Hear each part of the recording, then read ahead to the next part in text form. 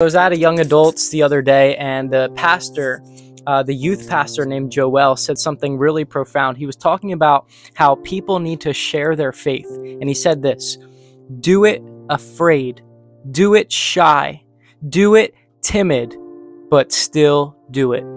You see, a lot of people, uh, they don't share their faith because they think, I have to be super bold. I have to know all the words. No, no, no.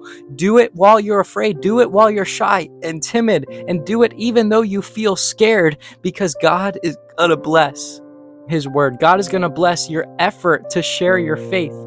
Now, there's a verse in First Corinthians uh, where Paul says, He said, I came to you.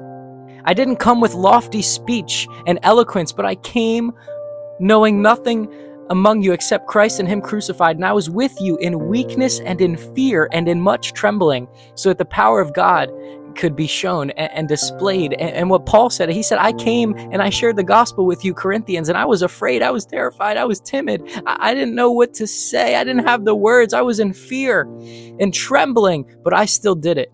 And you see, we don't have to wait till we have all the perfect words or wait till we have it all together. We need to, we just need to start being obedient, especially this young adult generation we need to step out of our comfort zone and step into the opportunities, the open doors that God has for us.